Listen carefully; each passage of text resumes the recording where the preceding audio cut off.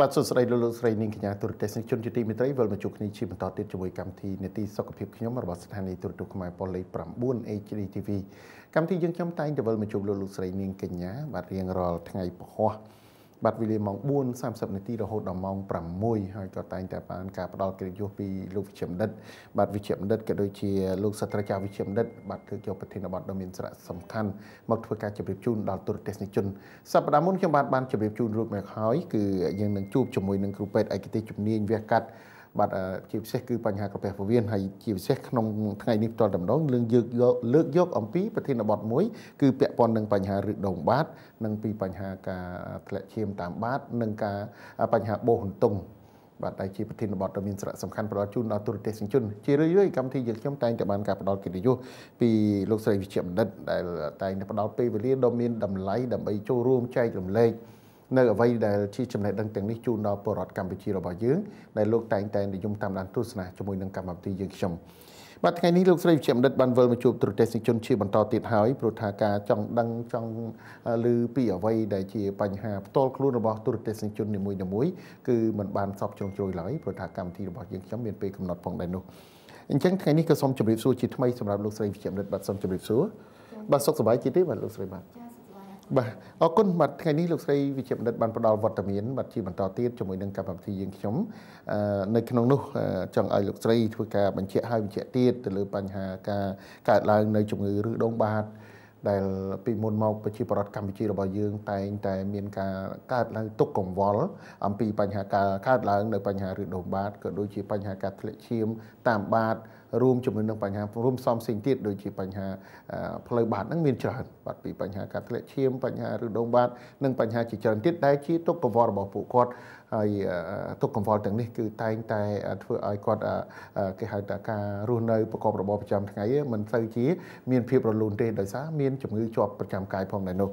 ចឹងចង់ឲ្យលោកស្រីធ្វើការជម្រាបជូនផងដែរពីបញ្ហាឬដងបាតដូចជាការជម្រាបជូនការលើកមុនរួចមកហើយដែរក៏ប៉ុន្តែការចង់ដឹងចង់លើប្រជាប្រដ្ឋនៅមានជាច្រើនទៀតដែលលោកចង់ដឹងផងដែរពាក់ព័ន្ធទៅនឹងបញ្ហានេះពីបញ្ហាឬដងបាតដែលពីមុនមកអតុរទេសនិកជនរបស់យើងតែងតែគិតនឹងឆ្ងល់រួមជាមួយនឹងការដឹងតតគ្នាពីជីដូនជីតាឪពុកម្ដាយមានមីងអញ្ចឹងមកថាឬដងបាតនៅពេលដែលកើតនៅពេលដែលទុំហើយវាអាចវិវត្តទៅជាជំងឺមហារីកហើយអាចនឹងបង្កឲ្យអ្នកជំងឺស្លាប់បាត់បង់ជីវិតបានតែទាំងនេះគឺជាអ្វីដែលជាការព្រួយបារម្ភរបស់ប្រជាពលរដ្ឋឬមួយថ្ងៃនេះគឺយើងទូរទស្សនិកជនធ្វើការប្រៀបធៀបអំពីបញ្ហាការកើតនៅជំងឺបោសអន្ទង់ក៏ដូចជាបញ្ហាជំងឺឬដងបាតព្រោះភាគច្រើនប្រជាពលរដ្ឋរបស់យើងដោយតែលោកស្រីបានធ្វើការជម្រាបជូនច្រើនតែមានការយល់ច្រឡំយល់ច្រឡំថាគាត់នៅពេលដែលគាត់មានបញ្ហាសើមនៅផ្នែកខាងក្រោមគាត់ប្រហែលថាជាឬដងបាតដែរ បាទដែលជាបញ្ហាមួយដោយលោកស្រីបានធ្វើការបញ្យល់ណែនាំជូនដល់ទិដ្ឋាជនយ៉ាងដូចនោះដែរអញ្ចឹងប្រជាប្រដ្ឋរបស់យើងគួរតែមានការស្វែងយល់ឲ្យបានច្បាស់ដែលលោកស្រីជាមរិទ្ធបានធ្វើការជម្រាបរួចមកហើយបាទអញ្ចឹងសូមឲ្យទូរទស្សនិកជនត្រូវគិតពិចារណាឡើងវិញថាតើអ្វីដែលទូរទស្សនិកជនបានកំពុងតែកើតមានជាបោសអន្ទង់ឬមួយក៏ជាបញ្ហាឬដងបាតឲ្យប្រកប ជាសញ្ញាសំខាន់លោកស្រីវិជ្ជមរិទ្ធជាសញ្ញាសំខាន់តើជាកត្តាអ្វីខ្លះដែលយើងអាចកត់សម្គាល់ថាបែងចែកឲ្យច្បាស់សម្រាប់ទូរទស្សនិកជនថាគាត់កំពុងតែកើតមានជំងឺឬដងបាតហើយមួយទៀតគឺគាត់កំពុងតែកើតមាននៅជំងឺបញ្ហាបូនតុងដែលជារោគសញ្ញាផ្ទុយគ្នាសម្រាប់ជំងឺទាំងពីរនេះបាទអរគុណតាមពិតទៅរោគសញ្ញារបស់ឬដងបាតជាមួយនឹងបូនតុង យើងគិតមើលទៅបើសិនជាបញ្ហាឬដងបាតផ្នែកខាងក្រៅគឺអាចច្រឡំគ្នាជាមួយនឹងបូនតុងពីព្រោះថាអាការៈរបស់អ្នកជំងឺគឺមានអាការៈដូចគ្នាបិទគឺមិនមានលក្ខណៈខុសគ្នាទេគឺថាឬដងបាត ផ្នែកខាងក្រៅហើយនឹងបូនតុងគឺចាប់ដើមឡើងមានដុំហើមពកនៅខាងក្រៅដូចគ្នាហើយធ្វើឲ្យមានការឈឺចាប់គឺមានលក្ខណៈដូចគ្នាបើបិទគឺបើសិនជានិយាយពីអាការៈដែលអ្នកជំងឺគាត់ទទួលបាន គឺมันខុសគ្នាក៏ប៉ុន្តែយើងអាចបែងចែកបាន គឺនៅពេលដែលគ្រូពេទ្យពិនិត្យ បើសិនជាគ្រូពេទ្យមិនបានពិនិត្យទេគឺយើងមិនអាចបែងចែកទេអញ្ចឹងបើសិនជាបងប្អូនគាត់មានអាការៈមានដុំពកមួយហើមនៅត្រង់ម្ដុំបាតហ្នឹងហើយឈឺហើយដុំពកហ្នឹងទឹកលេចចេញថ្មីថ្មីទេអញ្ចឹងដើម្បីឲ្យច្បាស់ថាតើជាឬដុំបាតឬមួយក៏ជាបូនតុងគឺលុះត្រាណាតែគាត់មកជួបជាមួយនឹងវិជ្ជបណ្ឌិតជំនាញឯកទេសដើម្បីធ្វើការពិនិត្យមើលដើម្បីវែកញែករវាងជំងឺទាំងពីរនេះព្រោះថាការព្យាបាលជំងឺទាំងពីរនេះគឺមានភាពផ្ទុយគ្នាស្រឡះ ទុយទៅវិញប្រសិនបើតកតងទៅនឹងបញ្ហាឬដងបាតផ្នែកខាងក្នុងជាមួយនឹងបូនតុងគឺมันមានការលំបាកក្នុងការញែកចេញពីគ្នានោះទេពីព្រោះថាការមានឬដងបាតផ្នែកខាងក្នុងជាទូទៅគឺរោគសញ្ញាមានរ៉ាំរ៉ៃមិនមែនរោគសញ្ញាថ្មីថ្មីណាបង មានដូចជាមានលៀនសាច់ចេញមកនៅពេលដែលគាត់បត់ជើងធំឬមួយក៏មានស្រក់ឈាមពណ៌ក្រហមស្រស់នៅពេលបត់ជើងធំក៏ប៉ុន្តែបូនតុងគឺអត់មានស្រក់ឈាមក្រហមស្រស់ទេអាការៈដូចដែលនាងខ្ញុំជម្រាបពីខាងលើមិនអញ្ចឹងគឺបញ្ហាគឺមានដុំហើមនៅខាងក្រៅហើយមានការឈឺចាប់ខ្លាំងអឺជាអាការៈដែលទើបតែមានថ្មីថ្មីក្នុងរយៈពេល2 3ថ្ងៃឬក៏4 5ថ្ងៃនឹងទេថ្មីថ្មីតា ចឹងដើម្បីបែងចែកច្បាស់គឺមានតែវិជ្ជបណ្ឌិតជំនាញឯកទេសទេដែលអាចញែករវាងជំងឺទាំងពីរនេះច្បាស់តែម្ដងអរគុណចង់បញ្ជាក់ផងដែរបាទលោកស្រីវិជ្ជបណ្ឌិតបញ្ហាបោសហន្ទង់ដែលជារោគសញ្ញាដែលចេញខ្លាំងហ្នឹងបាទយើងអាចដឹងបានចា៎នៅពេលដែលមានដំបៅដុំពកមកខាងក្រៅហើយក៏ប៉ុន្តែវាអាចដឹងពីចំណុចចាប់ផ្ដើមដំបូងនេះដែលអាចឲ្យប្រជាពលរដ្ឋរបស់យើងបានដឹងថាគាត់នឹងកំពុងដំណើរវិវត្តទៅរកការកើតនៅជំងឺបោសហន្ទង់ផងដែរនោះចា៎ អឺតាមកាប់ពិតទៅមុនពេលកើតជាបូនតុងគឺយើងមិនអាចមានអាការៈដែលដឹងមុនបានទេបងមណាលុត្រាណាតកើតទៅជាបូសិនទៅបានយើងដឹងថាគាត់មានបញ្ហាបូនតុងនោះអញ្ចឹងមានន័យថាជាដំបូងឡើយគាត់មានហើមមានចេញជាបូសិនហើយបើសិនជាបូនោះធ្លាយហូរខ្ទុះអត់ទៅ គឺអាចបន្សល់ទុកនៅកូនផ្ដោតទូចមួយ នៅក្បែររុនបាតរបស់គាត់ហ្នឹងហើយដែលក្នុងកូនដុំនោះអាចមានហេទឹក រងៃឬមួយក៏ជ្រាបចេញជាខ្ទូសើមសើមតិចតិចជារៀងរាល់ថ្ងៃតែនៅពេលណាមួយដែលថាកូនបដូរទូចរុនទូចដែលធ្លាចេញមកខាងក្រៅនោះត្រូវបានជិតមុខអញ្ចឹងគឺនឹងធ្វើឲ្យคล้ายទៅជាបោសហើយដែលមានការហើមឈឺចាប់ឡើងវិញអញ្ចឹងយើងអត់អាចនិយាយបនថាគាត់កំពុងតែរៀបនឹងកើតបោសបន្ទង់ឯងជាទូទៅលុះត្រាតែគាត់កើតសិនទើបបានអាចដឹងថាគាត់មានជំងឺបោសបន្ទង់ បាទនេះគឺជាអ្វីដែលកម្មវិធីចង់ធ្វើការជម្រាបជូនដល់ទូរទស្សនិកជនអញ្ចឹងកម្មវិធីតែងតែលើកឡើងផងដែរជាមួយនឹងលោកស្រីវិជ្ជបណ្ឌិតពីបញ្ហាការកើតនៅជំងឺឬដងបាតដែលមានការភ័ន្តច្រឡំជាមួយនឹងជំងឺបោសហន្ទង់ដែលទូរទស្សនិកជនមួយចំនួន បាទគាត់អត់ដឹងថាតើជំងឺណាមួយដែលជាការចាប់អារម្មណ៍ប៉ុន្តែអ្វីដែលលោកស្រីវិជ្ជាមនិតបានធ្វើការជម្រាបជូនគឺថាវាស្តៀងគ្នាដែរនៅពេលដែលបែកធ្លាយមកគឺថាគឺថានៅអែបអែបគ្នាជាមួយនឹងឬដងបាតដែលយើងច្រឡំជួនកាលយើងមើលមិនឃើញយើងស្ទាបយើងស្ទាបអញ្ចឹងទៅឃើញថាអ្នកខ្លះគឺស្ទាបទៅប៉ះដូចជាឬដងបាតអញ្ចឹងដែរសម្រាប់បុស្សតុង ពាក់ព័ន្ធទៅនឹងជំងឺបោសហន្ទង់នេះដែរបាទលោកស្រីវិជ្ជបណ្ឌិតបានធ្វើការបញ្ជាក់ពីដើមកម្មវិធីបន្តិចមកហើយថាការព្យាបាលមានតែការវះកាត់ទេគឺជាការអាចព្យាបាលឲ្យជាសះស្បើយបានយើងគ្មានវិធីសាស្ត្រណានៅក្នុងការលាបថ្នាំពីបុរាណអីចឹងយើងយកថ្នាំអីមកបៀកលាបវាឲ្យដំបៅនៅជាសះស្បើយគឺមិនអាចដែរបាទដោយសារអីព្រោះថាបោសហន្ទង់ដោយដែលលោកស្រីវិជ្ជបណ្ឌិតបានធ្វើការជម្រាបជូនគឺថាវាចេញពីផ្នែកខាងក្នុងធ្លាយមកខាងក្រៅដោយបោសអញ្ចឹងដែរហើយប៉ុន្តែជំងឺនេះគឺ អាចនឹងវិវត្តបន្តរីកធំឡើងធំឡើងដែរបើសិនបើយើងមិនទទួលការព្យាបាលនៅក្នុងនោះបើសិនបើប្រជាពលរដ្ឋរបស់យើងមួយចំនួនឥឡូវនេះនៅមួយចំនួនធំបាត់ទូរទស្សនិកជនក៏ដូចជាលោកស្រីចំណិតគឺថាគាត់នៅមានភាពខ្មាស់អៀនគាត់ដឹងថាគាត់មានប្រហែលឬដងបាតឬមួយក៏បោសទងហើយគាត់មិនទៅរកសេវាព្យាបាលជាមួយគ្រូពេទ្យឯកទេសជំនាញទេចំពោះលោកស្រីវិជ្ជាបណ្ឌិតតើបើសិនបើពលរដ្ឋដែលគាត់កើតនៅជំងឺបោសទងហើយ គាត់មិនទៅរកសេវាព្យាបាលវាអាចវិវត្តទៅរកភាពគ្រោះថ្នាក់កើតឡើងទេសម្រាប់អ្នកជំងឺនោះបាទចាបងនៅក្នុងករណីដែលថាអ្នកជំងឺគាត់កើតមានបញ្ហាបូនតុងហើយដែលគាត់មិនបានមករកសេវាព្យាបាលពីព្រោះដូចនេះខ្ញុំជម្រាបពីដើមអញ្ចឹងគឺបូនតុងយើងចែកចេញជាពីរដំណាក់កាលដំណាក់កាលស្រួចស្រាវជាមួយនឹងដំណាក់កាលរ៉ាំរ៉ៃ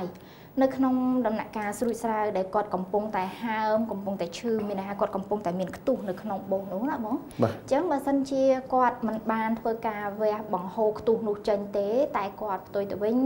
គាត់ញ៉ាំតែថ្នាំបំបត្តិការជឿចាប់ឬមួយក៏ថ្នាំផ្សះទេ គឺมันអាចមានថ្នាំណា ដែលធ្វើឲ្យបោសនោះរៀបទៅវិញនោះទេពីព្រោះថា នៅក្នុងបូងនោះគឺពោពេញទៅដោយមេរោគដែលវារលួយនៅក្នុងនឹងជាមួយនឹងជាលិការបស់យើងនៅម្ដុំហ្នឹងហើយវាស្រោបទៅដល់សម្បកមួយអញ្ចឹងបើសិនជាគាត់មិនបានប្រហូរខ្ទុះទេទោះបីជាប្រើថ្នាំផ្សះទៅក៏ដោយគឺថ្នាំផ្សះនោះមិនអាចជ្រាបឆ្លងកាត់សម្បកបូងនោះចូលទៅដល់ក្នុងហើយសម្រាប់មេរោគដែលនៅខាងក្នុងនោះទេម្យ៉ាងវិញទៀតការឈឺរបស់គាត់នោះគឺឈឺដោយសារតែសាច់ដែលរលួយនៅខាងក្នុងនោះវាច្រើនទៅច្រើនទៅធ្វើឲ្យមានគេហៅថាជា phenomenon inflammatory ធ្វើឲ្យរលាកឡើងក្រហមឡើងតឹងណែនខ្លាំងអអញ្ចឹងបើសិនជាគាត់មិនជួគ្រូពេទ្យធ្វើការជួបង្ហូរខ្ទុះនោះទេដែលយើងប្រើពាក្យថា pression នៅខាងក្នុងហ្នឹងបងកាលណា pression នៅខាងក្នុងហ្នឹងកាន់តែខ្លាំងគឺគាត់កាន់តែឈឺខ្លាំងឡើងខ្លាំងឡើងហើយផ្ទុយទៅវិញមួយទៀតបើសិនជាគាត់ប្រើថ្នាំម្យ៉ាងដែលបន្ថយភាពរលាក អញ្ចឹងធ្វើឲ្យបោសនោះវាអាចសំងំប៉ុន្តែមិនមែនជាការជាទេគ្រាន់តែវាសំងំ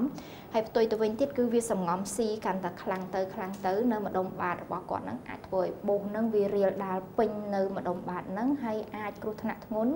គឺអាចធ្វើឲ្យមេរោគដែលនៅក្នុងនោះរងចូលទៅដល់ក្នុងឈាមរបស់គាត់ហើយអាចធ្វើឲ្យគាត់ស្លាប់បានបើសិនជាធ្ងន់ធ្ងរខ្លាំង ប៉ុន្តែបើសិនជាមិនធ្ងន់ធ្ងរខ្លាំងទេគាត់ធ្វើការបង្ហូរខ្ទុះតាន់ពេលវេលាឬមួយក៏បោសនឹងវាធ្លាយដោយខ្លួនឯងខ្ទុះនោះហូរចេញមកខាងក្រៅគឺ ក្រោយពេលហូរខ្ទុះអ្នកជំងឺនឹងមានអាការៈបាត់ឈឺចាប់តែម្ដងហើយគាត់នឹងមានអារម្មណ៍ថាហាក់បីដូចជាជាអញ្ចឹងតែតាមការពិតទៅគឺគាត់មិនទាន់ជា100%ពីព្រោះថាផ្លូវរបស់បូនតុងនៅតែមានដល់រ៉ាប់ណាផ្លូវរបស់បូនតុងនៅតែមានបូនតុងគឺនៅតែមានឱកាសនឹងលបឡើងមកវិញសាជាថ្មីហើយប្រសិនបើជាគាត់មានបូនតុងដែលវាធ្លាយបាត់ហើយហើយឥឡូវគាត់កំពុងតែស្ថិតនៅក្នុងដំណាក់កាលរ៉ាំរ៉ៃ គាត់មិនមានការឈឺចាប់ទេគ្រាន់តែមានរុនមួយនៅខាងក្រៅហើយមានហូរខ្ទូហូរទឹករងៃចេញមកជារៀងរាល់ថ្ងៃការដែលមិនព្យាបាលគ្រាន់តែធ្វើឲ្យគាត់ប្រឈមមុខនឹងការកើតបោសលបឡើងសាចុះសាឡើងតែมันមានបញ្ហាអីធ្ងន់ធ្ងរដូចនៅពេលដែលបោសនោះវាកំពុងតែហើមធំនោះទេចា៎បាទជាការពិតបើសិនជាទ្រុទេសនិកជនស្ដាប់ទៅហាក់បីដូចជាគេហៅថាធម្មតាទេកាលពីមុនមកយើងគិតថា បោសតុងជាជំងឺធម្មតាបើសិនបើយើងធ្លាយបោសនឹងហើយយើងអាចជាសះស្បើយវិញណាប៉ុន្តែករណីដោយដែលលោកស្រីវិជ្ជបណ្ឌិតបានធ្វើការជម្រាបជូនអញ្ចឹងវាមានគ្រោះថ្នាក់ធ្ងន់ធ្ងរណាស់បាទទូរទស្សនិកជនបើសិនបើយើងមិនបានទៅរកសេវាព្យាបាលឲ្យបានត្រឹមត្រូវទី1យើងទុកទៅវារំខានការងារប្រចាំថ្ងៃរបស់ប្រជាពលរដ្ឋទី2រំខានដល់មានភាពក្លិនទៅទៀត តែបើសិនបែកធ្លាយបន្តិចម្ដងបន្តិចម្ដងវាមិនមកទាំងអស់ទេយើងនៅមានសើមខោបាត់ជាប្រចាំបាទយើងនិយាយទៅហាក់បីដូចជាពិបាកស្ដាប់បន្តិចក៏ប៉ុន្តែយើងត្រូវហ៊ានហ៊ានប្រឈមមុខនឹងការពិតថាតើយើងពិតជាកើតមានជំងឺនឹងពិតប្រាកដហើយបើពិតប្រាកដហើយយើងហ៊ានប្រឈមមុខទៅជួបគ្រូពេទ្យឯកទេសជំនាញទេដើម្បីឲ្យគាត់ពួកគាត់នឹងធ្វើការព្យាបាលឲ្យបានទាន់ពេលវេលាដោយដែលលោកស្រីធ្វើការជម្រាបជូនបើសិនបើបោសនោះយើងទុកកាន់តែឲ្យរីករាលដាលធំឡើងធំឡើង វាធ្វើឲ្យមានបញ្ហាកើតឡើងច្រើន បញ្ហាកើតឡើងច្រើនត្រង់ថាយើងអាចព្យាបាលបានគឺនៅដំណាក់កាលទី1ទី2ទី3អីចឹងទៅដល់ដំណាក់កាលទី4ទី5ដែលបោសនេះវិវត្តកាន់តែធំទៅវាអាចបង្កជាមេរោគធ្ងន់ធ្ងរហើយអ្នកជំងឺអាចទទួលរងគ្រោះដល់អាយុជីវិតបានប៉ះសិនបើយើងមិនរស់រាន់នៅក្នុងការព្យាបាលឲ្យបានទាន់ពេលវេលាទេអញ្ចឹងឃើញថាប្រធានបទថ្ងៃនេះគឺចង់ឲ្យទូរទស្សនិកជនយល់កាន់តែច្បាស់បន្ថែមទៀតអំពីជំងឺបោសអន្ទង់ ដែលជាជំងឺមួយយើងកាត់ចាត់ទុកថាជាជំងឺធម្មតាហើយអ្នកខ្លះគាត់ថាគាត់ព្យាបាលដូចជាមិនជា ជាការលើកឡើងពីមុនមកគឺប្រជាពលរដ្ឋរបស់យើងបានទូរស័ព្ទមកកាន់កម្មវិធីគាត់ថាគាត់ព្យាបាលអត់មានជាទេបូនតុងនៅតែសើមខោគាត់រហូតហើយដឹងហើយគ្រូពេទ្យថាមានជំងឺបូនតុងប៉ុន្តែនៅក្នុងនោះតើការវាកាត់កម្រិតណាមួយបាទលោកស្រីវិជ្ជបណ្ឌិតដែលជាការលើកឡើងរបស់ប្រជាពលរដ្ឋគាត់ថាការព្យាបាលជាមួយគ្រូពេទ្យជំនាញហើយក៏ប៉ុន្តែនៅតែមិនព្រមជាសះស្បើយតើកត្តាអ្វីខ្លះដែលធ្វើឲ្យជំងឺនេះយើងអាចត្រូវព្យាបាលឲ្យបានជាសះស្បើយនិងវាមានការវិវត្តបែបណាដែរបាទចា៎ នៅក្នុងករណីដែលអ្នកជំងឺគាត់និយាយថាគាត់មានបូនតុងហើយគាត់ធ្លាប់ធ្វើការព្យាបាលគាត់ធ្លាប់វាហើយតែហេតុអីបានជានៅតែអត់ជានាងខ្ញុំសូមជម្រាបជូនថាក្នុងករណីនេះប្រហែលជាបងប្អូនមានការយល់ច្រឡំពាក្យថាវះនេះគឺបើសិនជាបងប្អូនធ្លាប់មានបូនតុងហើយគ្រាន់តែវះបង្ហូរខ្ទុះគឺមានន័យថាគ្រាន់តែវះពីខាងក្រៅដើម្បីឲ្យខ្ទុះនោះហូរចេញមកឲ្យអស់គឺមិនមែនជាការព្យាបាលមួយធ្វើឲ្យជាដាច់នោះទេពីព្រោះថាពាក្យថាបោសអន្ទង់គឺ ប្រៀបដូចជាសត្វអន្ទង់ដែលលូននៅក្នុងភក់អញ្ចឹងគឺវាស៊ីចាក់ពីខាងក្នុងចេញមកខាងក្រៅអញ្ចឹងមានន័យថាវាមានផ្លូវរូងរបស់វាអញ្ចឹងបើសិនជាយើងគ្រាន់តែវះបើកបង្ហូរមុខពីខាងក្រៅទេហើយយើងមិនបានធ្វើការវះកាត់យកផ្លូវរូងរបស់វាចេញទេគឺបូនតុងគ្មានថ្ងៃជាជាដាច់ខាតគឺវានឹងលោបឡើងមកវិញគ្រាន់តែយើងមិនដឹងថាតើពេលណាដែលវាលោបឡើងមកវិញអាចយូរអាចឆាប់តែប៉ុណ្ណោះកាលណាមុខខាងក្រៅចិត្តគឺវានឹងកទៅជាខ្ទុះហើយវានឹងឲ្យទៅជាបោសទៀត អញ្ចឹងនាងខ្ញុំគិតថាប្រហែលជាបងប្អូនគាត់មានការយល់ច្រឡំពាក្យថាវះកាត់នេះគឺ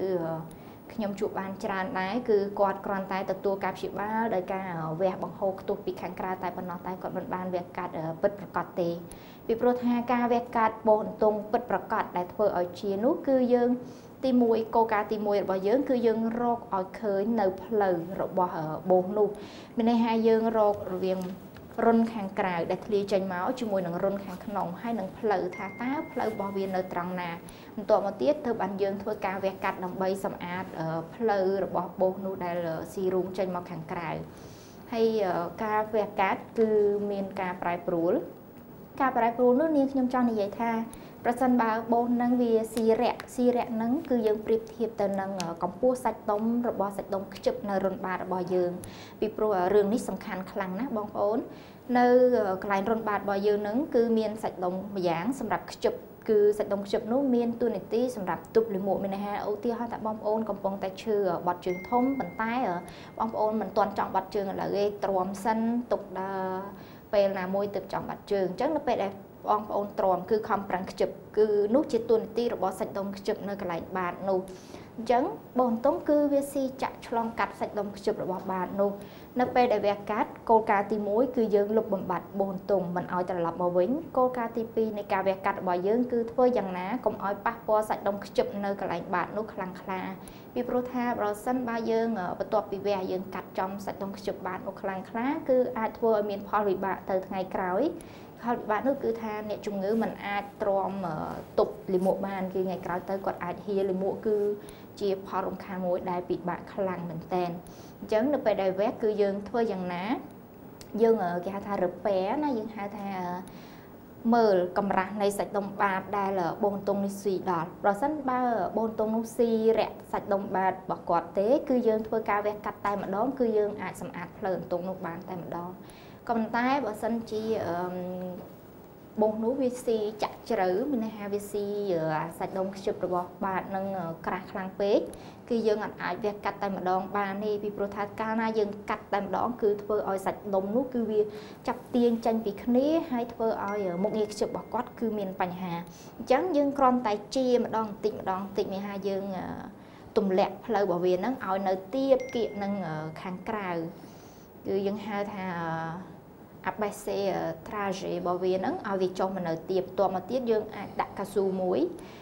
ជាកស៊ូវិជ្ជសាស្ត្រម្យ៉ាងដែលយើងដាក់នៅនឹងផ្លូវបោសនោះដើម្បីកុំឲ្យវាជិតមុខទៅវិញប៉ុន្តែយើងធ្វើការវះកាត់ពីលើមកម្ដងតិចម្ដងតិចឲ្យវានៅស្ដើងផ្នែកខាងក្រៅហ្នឹងបន្ទាប់មកទៀតយើងរងចាំរហូតដល់របួសចាស់របស់គាត់នោះជាទៅបានយើងធ្វើការវះកាត់ម្ដងទៀតផ្ដាច់ផ្លូវនោះឲ្យស្អាតតែម្ដងចា៎ បាទអញ្ចឹងគឺជាផលលំបាកដែរបាទនៅក្នុងការព្យាបាលអញ្ចឹងអ្នកខ្លះប្រជាពលរដ្ឋខ្លះគាត់មិនមែនទៅព្យាបាលបោះអន្ទង់ទេគឺគាត់ទៅជួបបោះចា៎ដោយតែលោកស្រីវិជ្ជបណ្ឌិតបានធ្វើការបញ្ជាក់គាត់បញ្ជាក់ឡើងវិញបន្តិចអញ្ចឹងប្រជាពលរដ្ឋយល់ច្រឡំថាគាត់ព្យាបាលហើយហេតុអីក៏នៅតែកើតមានបាទអញ្ចឹងរឿងរ៉ាវទាំងនេះគឺ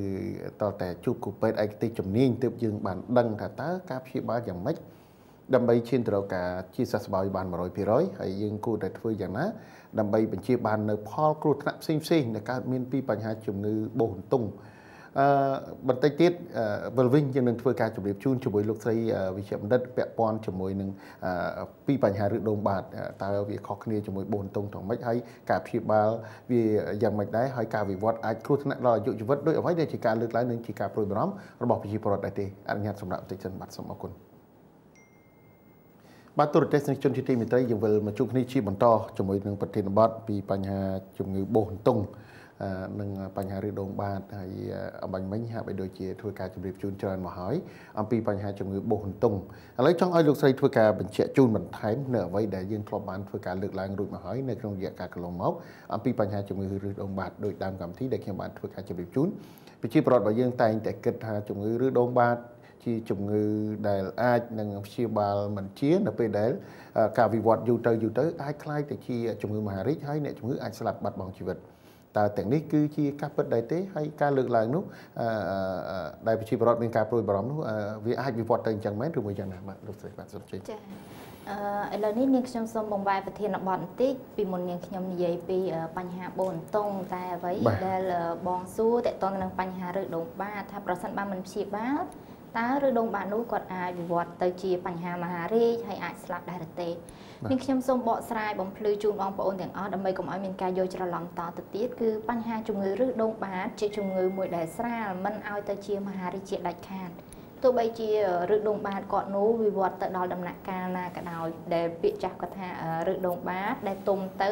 អាចខ្លាយទៅជាមហារាជតែតាមការពិតទៅគឺគ្មានរឿងទាំងអស់នោះទេបញ្ហាដែលគាត់យល់ច្រឡំមួយគឺថា អ្នកជំងឺតាមពិតទៅគាត់មានបញ្ហាសាច់កាចសាច់មហារីកតាំងពីដើមមកស្រាប់ដែលវាឲ្យជារោគសញ្ញាដូចជាបាត់ជើងមកអាចមានជាឈាមឬមួយក៏អាចធ្វើឲ្យគាត់ពិបាកបាត់ជើងបាត់ជើងអត់ចេញប៉ុន្តែដល់ពេលគាត់អត់ដឹងគាត់អត់បានដឹងថាគាត់មានកំពុងតែមានសាច់ដុំសាច់មហារីកនៅរុនបាតតែគាត់កំពុងតែគិតថាគាត់កំពុងមានមានជំងឺឬដុំបាតគាត់មិនបានទៅឲ្យគ្រូពេទ្យពិនិត្យធ្វើរោគវិនិច្ឆ័យឲ្យច្បាស់នោះទេ គាត់បាត់ជើងមកមានឈាមឬមួយក៏គាត់ពិបាកនៅក្នុងការបាត់ជើងធំគឺគាត់ធ្វើរោគវិនិច្ឆ័យដោយខ្លួនឯងតែម្ដងថាគាត់មានឬដុំបាតនៅក្នុងករណីនេះហើយដែលគាត់ទុកបញ្ហានឹងយូរយូរយូរទៅគឺធ្វើឲ្យដុំសាច់មហារីកនោះរីកកាន់តែធំទៅធំទៅ ដែលធ្វើឲ្យវារីកស្ញាញចេញមកខាងក្រៅហើយដល់ពេលគាត់ទៅជួបពេទ្យគឺយើងធ្វើរោគវិនិច្ឆ័យថាជារោគវិនិច្ឆ័យថាជាជំងឺមហារីកបាត់ទៅហើយ តាមពិតទៅគឺមិនមែនឬដងបាតរបស់គាត់នោះទុំคล้ายទៅជាមហារីកនោះទេ គឺគាត់មានដុសសាច់មហារីកតាមពីដំបងស្រាប់ហើយដែលគាត់មិនបានជួបជាមួយគ្រូពេទ្យត្រឹមត្រូវគាត់ចេះតែទុកវាចោលដោយយល់ថាជាឬដងបាតអញ្ចឹងមានន័យថា មិនមែនឬដងបាតវិវត្តទៅជាមហារីកនោះទេឬដងបាតគឺយើងមានពីដំណាក់កាលទី1រហូតដល់ទី4គឺទី4ហ្នឹងជាដំណាក់កាលចុងក្រោយគេហើយគ្រាន់តែថាសរសៃហ្នឹងប៉ោងខ្លាំងលៀនចេញមកខាងក្រៅរហូតមិនលឹកចូលវិញធ្វើឲ្យគាត់មានការធ្លាក់ឈាមពិបាកបត់ជើងអីគឺមិនមាននោះទេ បញ្ហាពិបាកបត់ជើងទៅវិញទេដែលធ្វើឲ្យគាត់មានបញ្ហាឬដូងបាតទៅថ្ងៃក្រោយប៉ុន្តែมันមានជំងឺឬដូងបាតណាមួយដែលធ្វើឲ្យអ្នកជំងឺមានផលវិបាកបត់ជើងមិនចេញនោះទេអញ្ចឹងបើសិនជាបងប្អូនកំពុងតែមានធ្លាក់ឈាមហើយពិបាកបត់ជើងបត់ជើងមិនចេញឬមួយក៏បត់ជើងមកមានលក្ខណៈសំប៉ែតសំប៉ែតតូចឆ្មាល់ឆ្មាល់គឺប្រហែលជាមិនមែនបងប្អូនកំពុងតែមានឬដុំបាតនោះទេ ប្រហែលជាកំពុងតែមានបញ្ហាដុំសាច់ដែលដុះនៅនឹងកន្លែងត្រង់ដុំបាតនោះពីព្រោះថានៅកន្លែងបាតយើង គឺមិនមែនមានតែជំងឺឬដុំបាតមួយមុខនោះទេគឺមានជំងឺជាច្រើនមុខទៀតមានដូចជាបញ្ហាឬដុំបាតហ្នឹងមួយហើយមានដូចជាដាច់រលាត់កសាលគូត មានដូចជាជំងឺបូនតុងមានជំងឺសើស្បែកផ្សេងទៀតមានជំងឺកាមរោគហើយក៏អាចមាននៅជំងឺ មហារាជបាទវាអាចដុះនៅកន្លែងម្ដុំបាទនឹងដែរអញ្ចឹងសូមបងប្អូនថ្ងៃហ្នឹងគឺយល់ឲ្យបានច្បាស់មិនមែនរាល់បញ្ហារោគសញ្ញាដែលមាននៅម្ដុំបាទសុទ្ធតែជាឬដងបាទនោះទេព្រោះថាបើសិនជាជាឬដងបាទមែនគឺមិនមែនជាជំងឺអ្វីធ្ងន់ធ្ងរមិនអាចឲ្យស្លាប់មិនអាចកាត់ទៅជាមហារាជនោះទេព្រោះតែប៉ុន្តែបើសិនជាបញ្ហានោះគឺជាបញ្ហាដុំសាច់មហារាជតាំងពីដំបូងស្រាប់ នេះហើយដែលជាបញ្ហាថ្ងៃក្រោយទៅគឺអាចប៉ះពាល់ដល់អាយុជីវិតរបស់បងប្អូនបាទនេះគឺជាការដែលលើកឡើងមិនមែនជាការបន្លាចឬមួយក៏ជាការធ្វើឲ្យទូរទស្សនិកជន មានការភ័យខ្លាចទៅលើចំណុចណាមួយទេក៏ប៉ុន្តែដូចជាការក្រើនរំលឹកផ្ដល់ជាមេរៀននិងបទពិសោធន៍សម្រាប់ទូរទស្សនិកជនដែរបើសិនបើ ប្រជាពលរដ្ឋរបស់យើង បាទមានការយល់ដឹងច្បាស់អំពីការបែងចែកពីឬដងបាត ពីបញ្ហាបួសតុងឬមួយក៏ការធ្លាក់ឈាមតាមបាតឲ្យបានច្បាស់នោះយើងអាចរត់ទៅរកព្យាបាលបានតាន់ពេលវេលាក៏ប៉ុន្តែមួយចំនួនពលរដ្ឋរបស់យើងគាត់អត់យល់គាត់អត់ដឹងថាតើជំងឺមានឈាមមកតាមបាតឬមួយក៏មានដុំសាច់លៀនមកតាមបាតសុទ្ធតែជារឿងដងបាតទាំងអស់ដោយអ្វីដែលលោកស្រីធ្វើការជម្រាបជូននោះទេហើយពាក់ព័ន្ធទៅនឹងបញ្ហានេះចង់ឲ្យលោកស្រីធ្វើការបញ្យល់បន្ថែមដែរ ពាក់ព័ន្ធទៅនឹងឈាមមកតាមបាតដែលប្រជាពលរដ្ឋរបស់យើងភាគច្រើនបាទភាគច្រើនតែម្ដងបាទទូរទស្សនិកជនហើយជាពិសេសគឺវ័យក្មេងៗមិនសូវកើតមានទេចាប់ពីវ័យកណ្ដាលទៅដែលចាប់ពី35 40 45 50ឡើងទៅគាត់តែងតែមានការជួបប្រសិនបើគាត់មានជំងឺបាទដូចជាបញ្ហាឬដងបាតបញ្ហាដុំសាច់ផ្សេងៗដោយដែលលោកស្រីធ្វើការជម្រាបជូនអញ្ចឹងតើរវាងការធ្លាក់ឈាមពីឬដងបាតនិងដុំសាច់ផ្សេងផ្សេងពីម្ដុំបាតហ្នឹងមានមានការខុសប្លែកគ្នាត្រង់ចំណុចណាហើយជារោគសញ្ញាបន្ថែមដើម្បីលើអ្វីដែលជាការកត់សម្គាល់ដោយប្រជាពលរដ្ឋរបស់យើងមានការភ្ញាក់រលឹកឬមួយក៏គាត់អាចស្វះស្វែងទៅរកគ្រូពេទ្យឲ្យបានទាន់ពេលវេលានោះបាទ តាមការពិតទៅការធ្លាក់ឈាមភាគច្រើនដែលបណ្ដាលមកពីឬដងបាតគឺមានធ្លាក់ឈាមពណ៌ក្រហមស្រស់ធ្លាក់ឈាមក្រហមស្រស់នោះជាពិសេសនៅពេលដែលគាត់បត់ជើងធំឧទាហរណ៍ដូចជានៅពេលដែលគាត់ប្រឹងខ្លាំងព្រោះថាអ្នកមានរដូវបាតភាគច្រើនគាត់មានបញ្ហាទល់លាមករួមមកជាមួយអញ្ចឹងនៅពេលដែលគាត់បត់ជើងធំប្រឹងខ្លាំងអាចធ្លាក់ឈាមតែបើសិនជាអ្នកខ្លះទៀតគាត់ថា មិនបាច់ប្រឹងខ្លាំងក៏អាចមានធ្លាក់ឈាមក្រហមស្រស់ដែរអ្នកខ្លះអាចធ្លាក់ជាឈាមក្រហមស្រស់តក់តក់មកអញ្ចឹងហើយអ្វីដែលសំខាន់គឺបើសិនជាឈាមនោះជាឈាមដែលបដាលមកពីបញ្ហារឹងដុំបាតគឺរឹងដុំបាតមិនឲ្យប៉ះពាល់សុខភាពផ្សេងទៀតរបស់អ្នកជំងឺឯងឧទាហរណ៍ដូចជាតកតងទៅនឹងឈឺពោះគឺអ្នកជំងឺអត់មានអាការៈឈឺពោះទេអ្នកជំងឺគាត់អត់មានអាការៈស្រកគីឡូឬមួយក៏អ្វីផ្សេងទៀតទេ អញ្ចឹងមានន័យថាបើសិនជាឈាមដែលមកពីរឹកដូងបាតគឺមានតែឈាមហើយมันមានអាការៈអ្វីផ្សេងប្លែកជាគួរកត់សម្គាល់ទេគឺធ្វើទុកនៅតែនៅម្ដុំបាតហ្នឹងឯងគឺអាចជាមានឈាមក្រហមស្រស់ជាមួយនឹងសាច់ដែលលៀនចេញមកហើយអាចលឹកចូលវិញឬមួយក៏អាចនៅខាងក្រៅនឹងរហូតប៉ុន្តែបើសិនជាឈាមនោះតកតងទៅនឹងការដាច់រលាត់នៅម្ដុំទ្វារលិមួក ការដាច់រលាត់នៅទ្វារលិមួកនេះដែរក៏ជាជំងឺម្យ៉ាងដែលកើតមាននៅនឹងម្ដុំបាតនឹងដូចគ្នាអញ្ចឹងគាត់មានឈាមលាយជាមួយនឹងការឈឺចាប់នៅពេលដែលគាត់បត់ជើងធំ ជាពិសេសចំពោះអ្នកជំងឺដែលគាត់មានបញ្ហាក្តៀនឬមួយក៏អ្នកជំងឺដែលគាត់រាកខ្លាំងពេកអញ្ចឹងគាត់អាចធ្វើឲ្យមានអលាត់ដាច់នៅកន្លែងទ្វារលិមួករបស់គាត់ហ្នឹងអញ្ចឹងมันជាពេលដែលគាត់បត់ជើងធំគឺអាចមានឈាមជាមួយនឹងឈឺឈឺខ្លាំងនៅម្ដុំមុខបាតហ្នឹង បើសិនជាបញ្ហាឈាមនោះអាចមកពីដុំសាច់ដែលដុះនៅក្នុងចុងពោះវៀនធំឬមួយក៏ដោយសារតែបញ្ហាមហារីកគឺអាចមានជាមួយនឹងអាការៈផ្សេងផ្សេងទៀតដូចជាទី1គាត់មានស្រកគីឡូហើយទី2មួយទៀតគាត់មានបត់ជើងមកលាយជាមួយនឹងសម្បោរឬមួយក៏គាត់ពិបាកបត់ជើងហើយអ្នកខ្លះទៀតគាត់អាចមានអាការៈរាករាកមានសម្បោរមានឈាមណាលីមួហើយនឹងឈាមនឹងគឺវានៅលាយឡំគ្នាមិនមែនជាឈាមស្រស់ ដែលស្រក់មកក្រោយពេលបត់ជើងធំរួចនោះទេហើយអ្វីដែលគួរឲ្យកត់សម្គាល់ទៀតគឺគាត់មានឈឺពោះជាពិសេសនៅម្ដុំផ្នែកខាងខាងក្រោមពោះម្ដុំផ្នែកខាងក្រោមជាមួយនឹងការស្រកគីឡូដែលគួរឲ្យកត់សម្គាល់អញ្ចឹងប៉ុន្តែនៅមានអឺ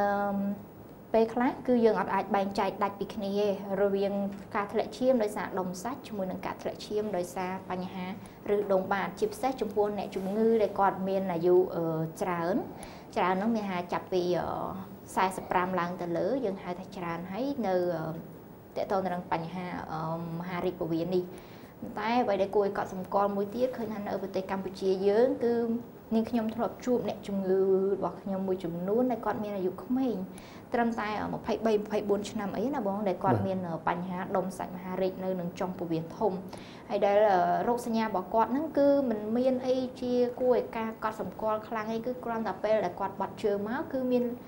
ចេះតែមានឈាមហើយអាការៈរបស់គាត់ហ្នឹងទឹកធ្វើទុកប្រហែលជាមួយខែអីទេតែដល់ពេលយើងធ្វើការពិនិត្យទៅគឺឃើញថាគាត់មានដុំសាច់នៅខាងក្រោមហ្នឹងតែម្ដង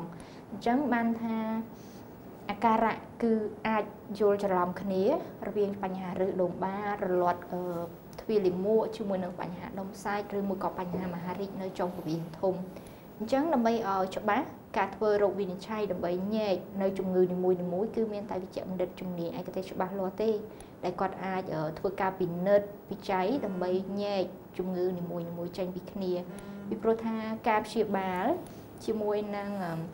គេហៅថា prognostic ណារំពឹងទៅថ្ងៃក្រោយគឺខុសគ្នារវាងជំងឺឬដុំបាតដាច់រលាត់កសាគូតជាមួយនឹងបញ្ហាដុំសាច់ជាមួយនឹងមហារីកនេះគឺការព្យាបាលខុសគ្នាចា៎អរគុណណាស់បាទលោកស្រីវិជ្ជបណ្ឌិតដែលធ្វើការបញ្ជាក់ជូនឲ្យប្រជាពលរដ្ឋរបស់យើងកាន់តែមានការយល់ដឹងកាន់តែច្បាស់នៅពេលដែលមានអាការៈមានឈាមតាមលិមួកនៅពេលដែលយើងបត់ជើងមកតើលក្ខណៈណាដែលយើងកត់សម្គាល់ថាអាចវិវត្តទៅរកជំងឺរដូវបាត និងមួយណាផ្សេងទៀតដែលយើងយល់ថាមានបញ្ហាផ្នែកបាទដូចគ្នាប៉ុន្តែមានដុំសាច់នៅតាមម្ដុំបាតជាពិសេសគឺនៅចុងពោះវៀនធំដោយដែលលោកស្រីធ្វើការបញ្ជាក់ជូនអញ្ចឹងគឺថាគ្រោះថ្នាក់ណាស់បាទទូរទស្សនិកជនបើប្រៀបធៀបទៅនឹងប្រទេសដែលមានសេដ្ឋកិច្ចជឿនលឿនដែលគេជួយឲ្យប្រជាពលរដ្ឋរបស់គេអាចធ្វើការពិនិត្យតាមរយៈការបង់ជាអឺ រំលោះឬមួយក៏អាសរងអីផ្សេងផ្សេងហ្នឹងគឺថាគេធ្វើជាប្រចាំថ្ងៃជាមួយនឹងប្រាក់ពិវត្តប្រចាំថ្ងៃប៉ុន្តែនៅពេលដល់ពិនិត្យសុខភាពគឺថាចូលដល់ថ្ងៃត្រូវពិនិត្យគឺគេប្រកាសហៅប្រជាពលរដ្ឋទៅធ្វើការត្រួតពិនិត្យ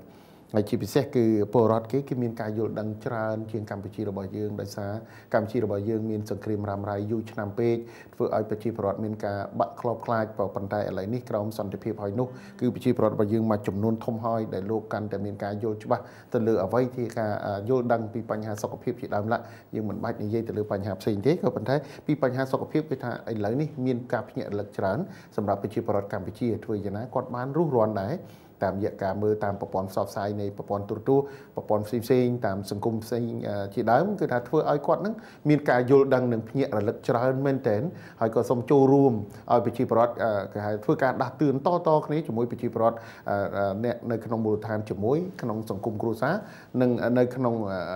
សង្គមតែម្ដងគឺថាយើងត្រូវយល់បើយើងយល់ប៉ុណ្ណឹងយើងអាចទៅបញ្យល់ថែមគាត់ឲ្យបានយល់ប្រហែលមិនបានប្រហែលយើងក៏បានគាត់យល់ច្បាស់ជាងអ្វីដែលគាត់មិនបានយល់ដឹងផងដែរ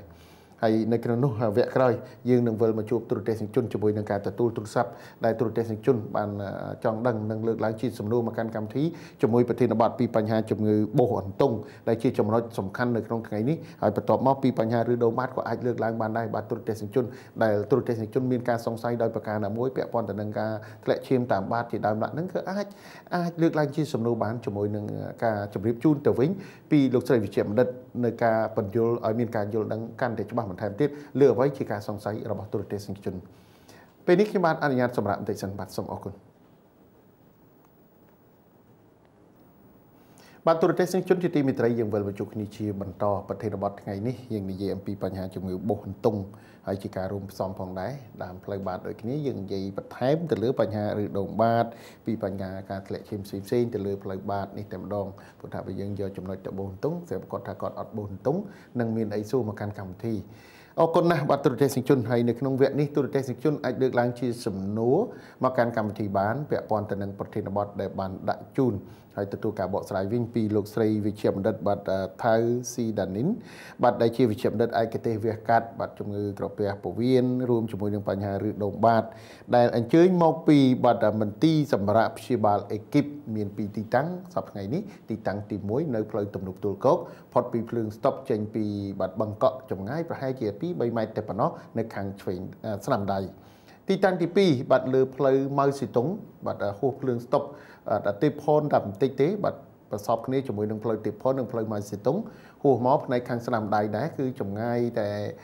ប្រមាណម៉ែត្រតែប៉ុណ្ណោះពីភ្លើងស្តុបឬមួយពីការ៉ាសាំងសូគីមិកនេះផ្ទាល់តែម្ដងដែលអេគីបមានគ្រូពេទ្យឯកទេសជំនាញជំនាញស្វាគមន៍លោកអ្នកមិនអោយខុសបំណងឡើយចុងកម្មវិធីខ្ញុំបាទនឹងធ្វើការជម្រាបទីតាំងរួមជាមួយនឹងប្រព័ន្ធនៃការតំណាក់តំណងជាមួយអេគីបឥឡូវនេះសូមទទួលទូរស័ព្ទតែម្ដងពីទូរទស្សនិកជនបាទអាឡូ បាទជម្រាបសួរអញ្ជើញទូរស័ព្ទមកពីខាងណាដែរបងស្រីបាទតែខ្ញុំមកពីខាងខេត្តកដាលខេត្តកដាលបាទមានសំណួរអ្វីពាក់ព័ន្ធទៅនឹងប្រធានបទដែលបានដាក់ជូននៅក្នុងថ្ងៃនេះបាទបងស្រីបាទសូមចង់ថា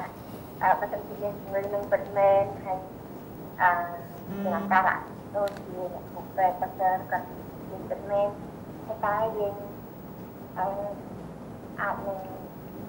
ជាការដែលចាត់ទៅអាចនឹង ថាថាថាអីចឹងមិនចាំថា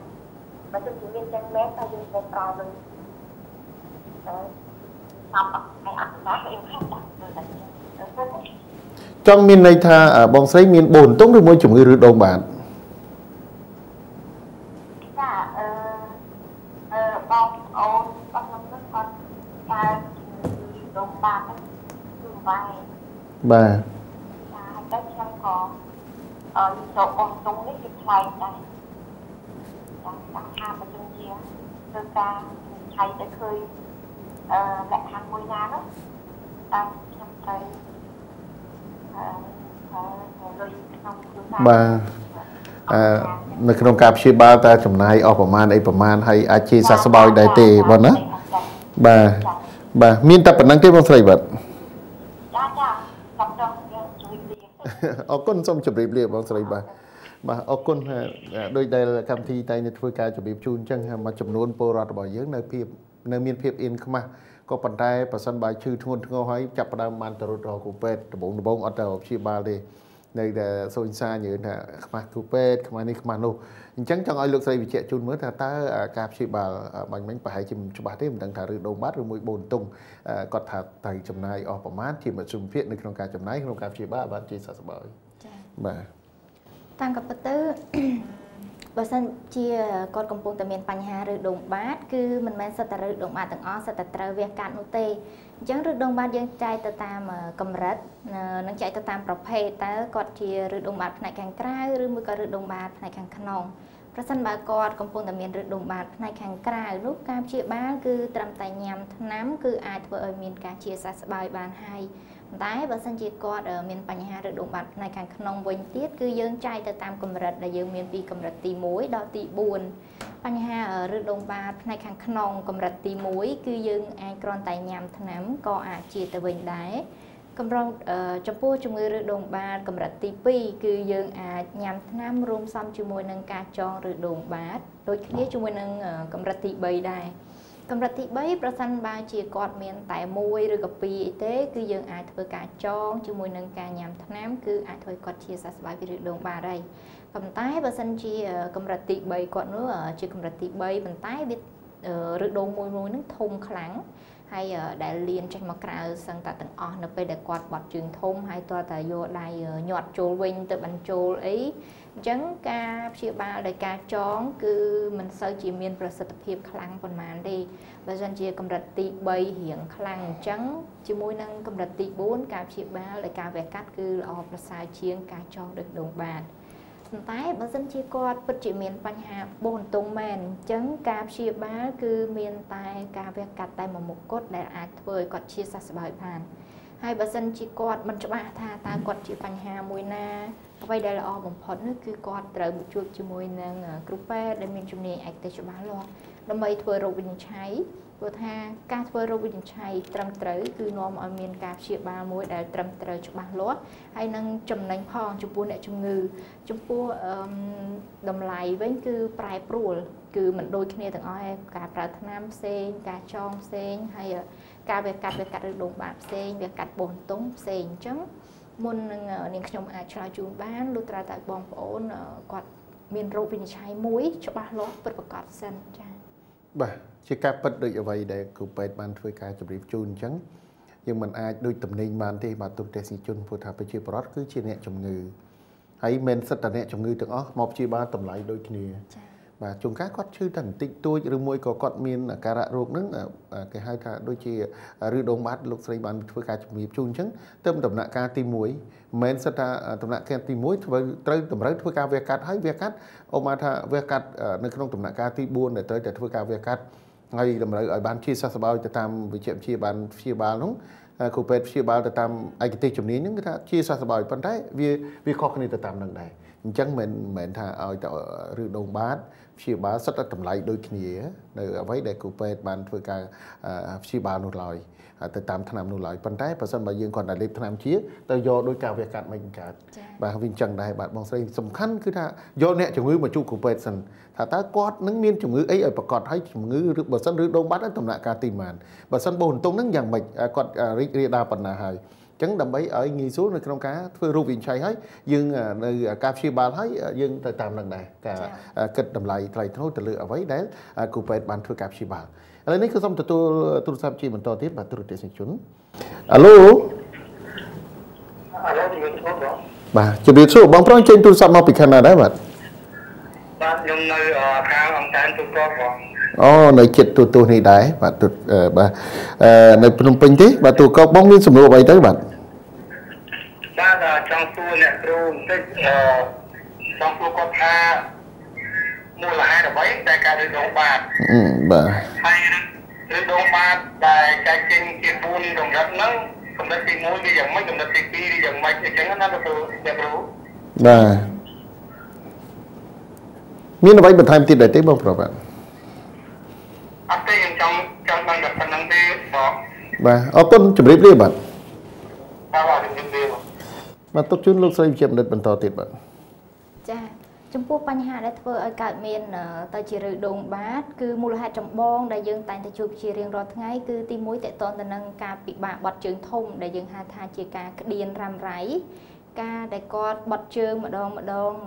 លិមុខរឹងពិបាកក្នុងការប្រឹងយូរទៅបានមានចេញលិមុខមកអញ្ចឹងកាលណាគាត់ក្តៀនរ៉ាំរ៉ៃចឹងទៅធ្វើឲ្យមានបញ្ហាឬដងបាតសួរថាហហេតុអីបានជាក្តៀនរ៉ាំរ៉ៃធ្វើឲ្យមានបញ្ហាឬដូងបាតពីព្រោះថា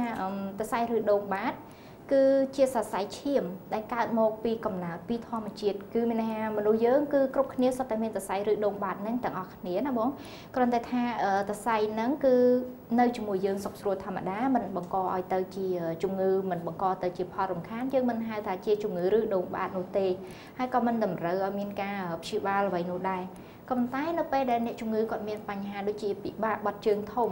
នៅពេលដែលគាត់មានការពិបាកបត់ជើងធំគឺគាត់ត្រូវបត់ជើងខ្លាំងគឺប្រើកម្លាំងប្រឹងខ្លាំងរយៈពេលយូរនៅពេលដែលគាត់បត់ជើងម្ដងម្ដង អញ្ចឹងជាធម្មតាតើកាលណាយើងប្រើកម្លាំងប្រឹងគឺធ្វើឲ្យសរសៃឈាមរបស់យើងឡើងប៉ោងប្រៀបដូចជាយើងប្រឹងលើករបស់មួយអ្វីមួយដែលធ្ងន់ដែលធ្វើឲ្យសរសៃដៃយើងឡើងប៉ោងធំនោះសរសៃឬដុំបាតហ្នឹងគឺដូចគ្នាគឺសរសៃហ្នឹងវានៅនឹងកន្លែងផ្នែកបាតរបស់យើងហ្នឹងអញ្ចឹងនៅពេលដែលយើងប្រឹងបត់ជើងធំខ្លាំងគឺធ្វើឲ្យសរសៃឈាមដែលនៅនឹងដុំបាតនោះគឺវាឡើងរីកប៉ោងធំអញ្ចឹងបើសិនជាយើងគ្រាន់តែពិបាកបត់មួយថ្ងៃពីរថ្ងៃអីគឺមិនអីទេ តែបើសិនជាយើងមានការពិបាកបត់ជើងធំនោះរ៉ាំរ៉ៃរាប់ខែរាប់ឆ្នាំ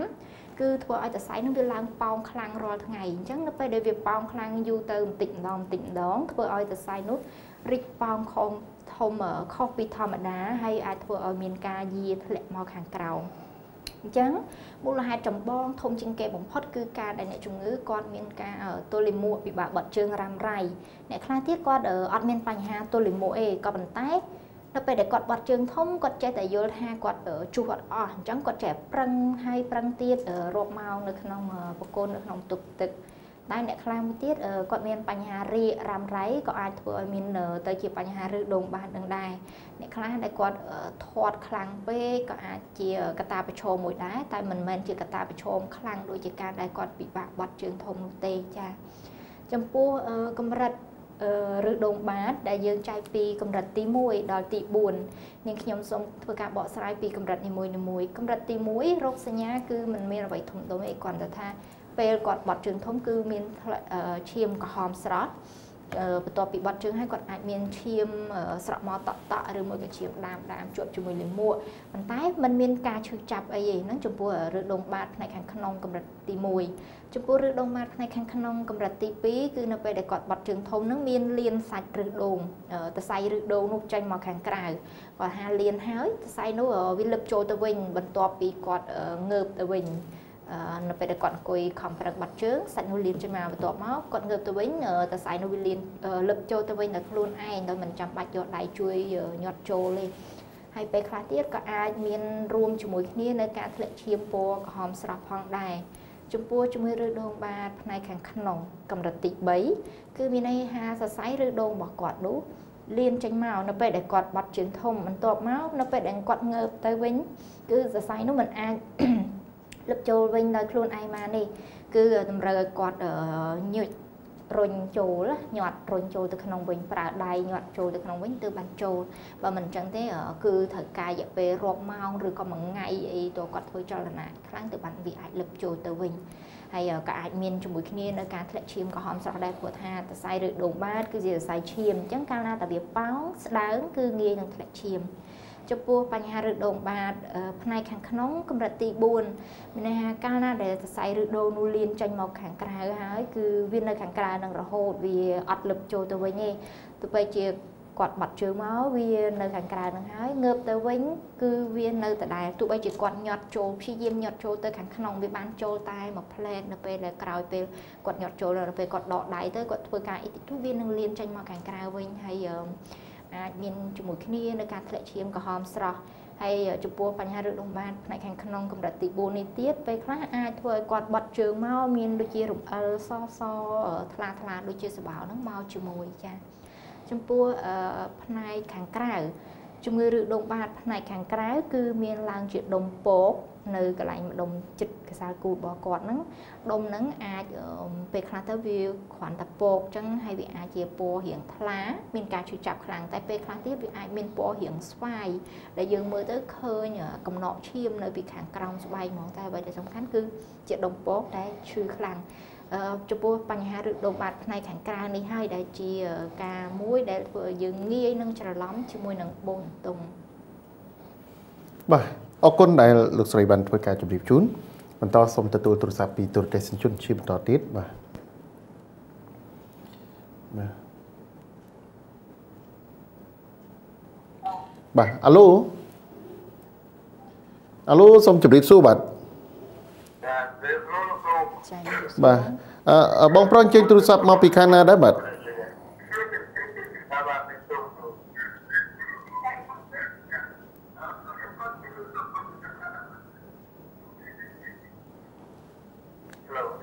បាទអាឡូសុំសុំបងស្ដាប់តាមទូរស័ព្ទវិញបងបិទសំឡេងទូទូឲ្យនៅតូចបន្តិចបងណា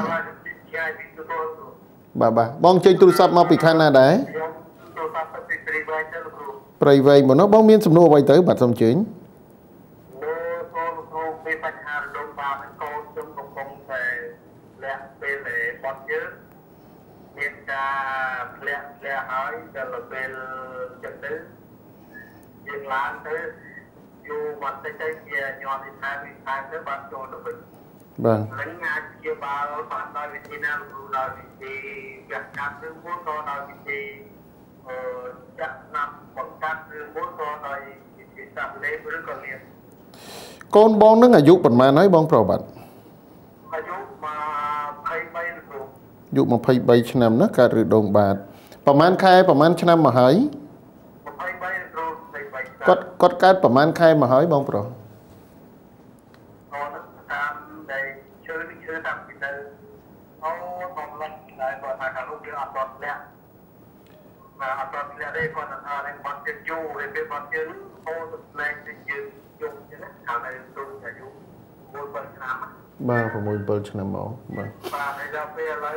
អាយុ23នេះបាត់ចាប់ដើមបាត់ជើងទៅវាលេងចេញទៅវិញធ្លាក់ធ្លាក់ធ្លាក់ បាទបាទបាទពួកទៅបណ្ដាទៅនៅនៅស្ពានទៅវាចុះស្ពានឡើងនេះអីគេអឺបងប្រុសខ្ញុំបាទជំរាបសួរបង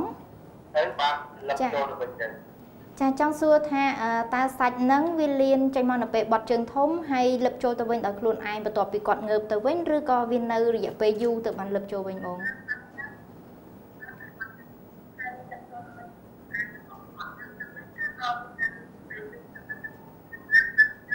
ដើរជួនកាលដើរប្រហែលជាមួយម៉ោងឬក៏កន្លះម៉ោងមកទឹកចូលទៅអឺតើសាច់ហ្នឹងលៀនចេញមកជារៀងរាល់ថ្ងៃរាល់ពេលដែលគាត់បត់ជើងធំឬក៏យ៉ាងណាដែរបង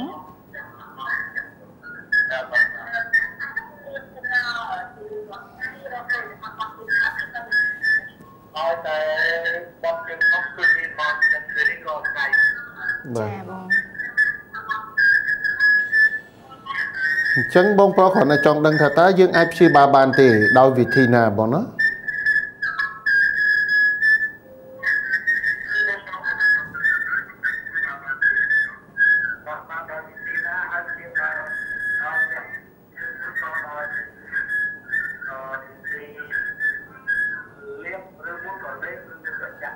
បាទបាទ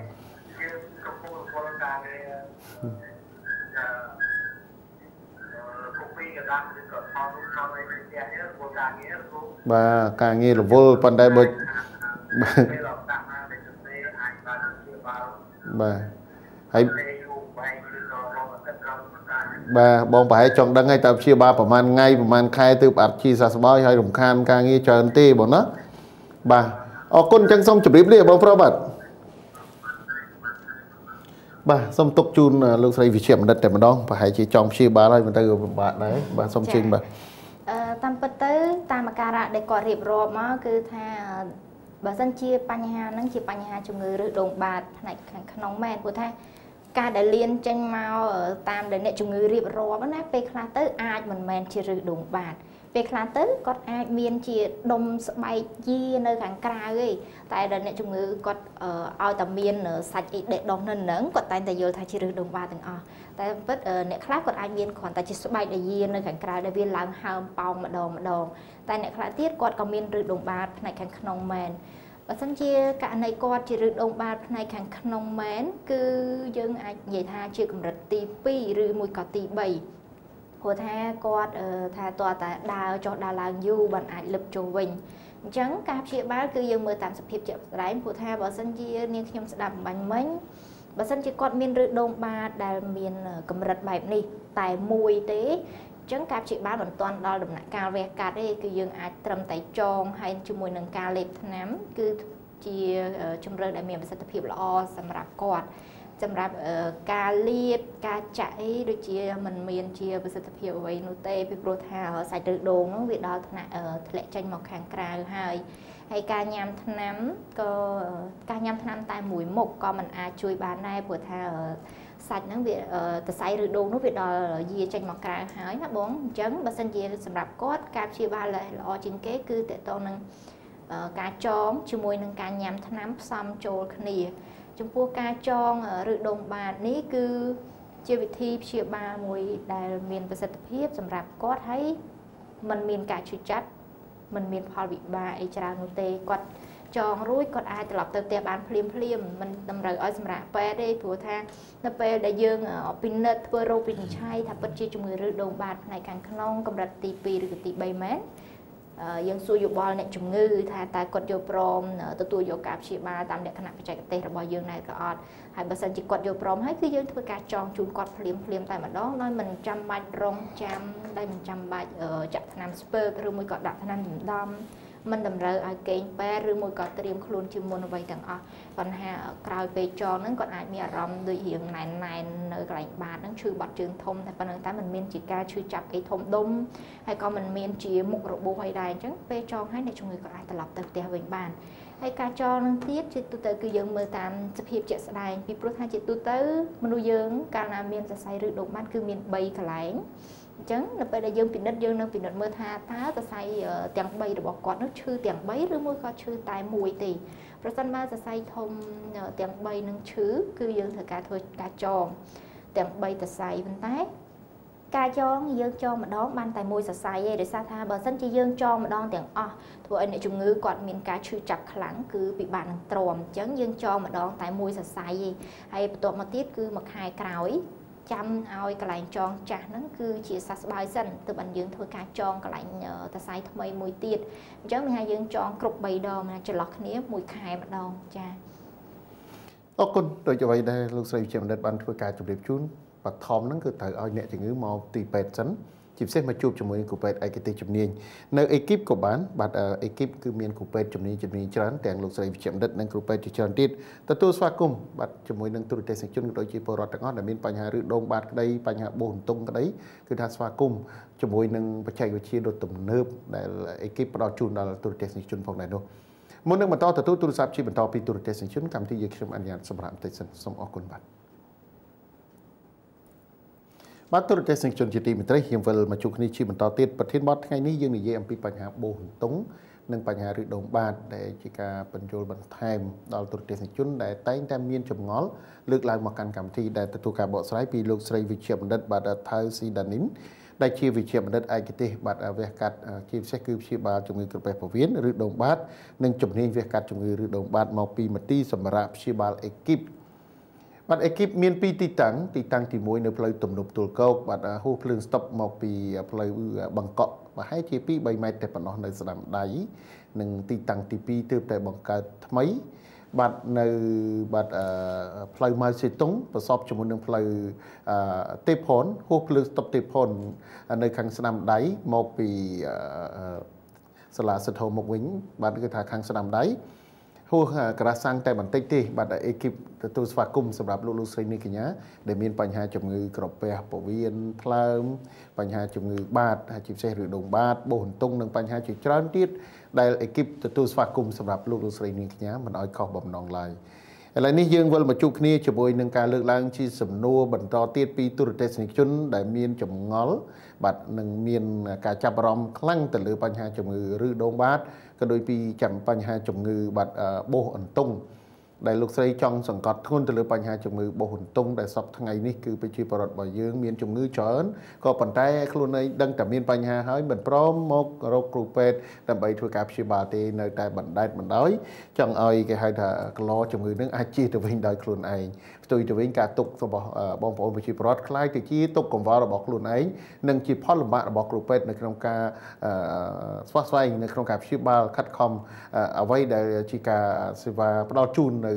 ទូរទស្សនិកជនឲ្យបានជាសះស្បើយប៉ុន្តែបើយើងទុកដល់យូរអង្វែងពេកក៏ពិបាកនៅក្នុងការព្យាបាលចំណាយទាំងពេលវេលានិងថវិកាសម្រាប់បងប្អូនប្រជាពលរដ្ឋទៀតផងខ្ញុំបានបន្តទទួលទូរស័ព្ទជាថ្មីបាទហៅឡូបាទសូមជម្រាបសួរបាទបងស្រីចេញទូរស័ព្ទមកពីខណ្ឌណាដែរខ្ញុំទៅពីស្អាងស្រីតូចស្អាងមានសំណួរអ្វីទៅបងស្រីសូមអញ្ជើញបាទខ្ញុំចង់សួរអំពីអើយសុដងបានខ្ញុំស្ដាប់អើយអ្នកគ្រូវិជ្ជាបណ្ឌិតនិយាយទៅខ្ញុំអើយជំងឺខ្ញុំនោះវាពេលតបាត់ជើងវាលៀនចេញហើយដល់ពេលយើងយកដៃញាត់ទៅវិញបានវាចូល បាទខ្ញុំចង់សួរអ្នកគ្រូពេលទៅជំងឺខ្ញុំនោះវាដំណាក់កាលទីម៉ាហើយបើសិនជាវាស្ដាប់ទៅតែឲ្យចំណាយលុយអស់ហ្មងតែសម្រាប់ពេលប្រហែលថ្ងៃបាទយើងយូរហើយនៅបើតាមបងស្មានហ្នឹងកើតប្រហែលឆ្នាំមកហើយខ្ញុំកើតជំងឺនេះអូយតាំងពីកំណើតកូនខ្ញុំបងវា14ឆ្នាំហើយ14ឆ្នាំហ្នឹងណាពេលខ្ញុំមានទម្ងន់ហើយគួយទៅចាប់ពេលមានអារម្មណ៍ថាឈឺឈឺទៅដល់យូរវាមានដកចេញមកអញ្ចឹងណា បាទឥឡូវនេះដល់បាទបាទឥឡូវកាន់តែធំទៅធំទៅច្រើនទៅបងណាឥឡូវកាន់តែធំទៅដល់ខ្ញុំចង់ទៅគេយើងចង់ហើយដល់ពេលយើងអាចញាត់ទៅវិញបានតែការបានញាត់ទេវាដើរទៅឈឺបាទអឺមានសំណួរអ្វីបន្ថែមទៀតដែរទេបងស្រីមានប៉ុណ្ណឹងទេខ្ញុំចង់ទៅប៉ុណ្ណឹងទេចាបាទអរគុណជម្រាបលាបាទចាជម្រាបលាចាបាទ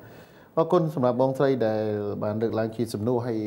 ជាច្រើនទៀតប្រជាពលរដ្ឋរបស់យើងតែងតែមានការអ៊ីនខ្មាស់ហើយយើងកុំអ៊ីនខ្មាស់អីបើសិនបើជំងឺកើតមានហើយយើងត្រូវទៅទៅរកសេវាព្យាបាលបើសិនបើបន្តកាន់តែទុកទៅ ការវិវត្តកាន់តែច្រើនឡើងយើងចំណាយពេលវេលាកាន់តែ កាន់តែយូរថវិកាក៏ច្រើនដែរព្រោះថាជំងឺធម្មតាតែយើងឈឺតិចមើលអស់តិចតែឈឺច្រើនវាអស់ច្រើនហើយចំណាយពេលវេលាក៏ច្រើនដែរប៉ុន្តែយ៉ាងណាមិញកម្ពុជារបស់យើងសប្តាហ៍ថ្ងៃក្រុមគ្រូពេទ្យសិតតែមានបទពិសោធន៍ជំនាញបូកផ្សំជាមួយនឹងបរិការពេទ្យដ៏ទំនើបគឺផ្ដល់ភាពងាយស្រួលរហ័សទាន់ចិត្តនៅក្នុងការព្យាបាលមិនឲ្យអ្នកជំងឺឈឺចាប់ខ្លាំងហើយជាពិសេសគឺផ្ដល់ពេលវេលាខ្លីសម្រាប់ការព្យាបាលផងដែរ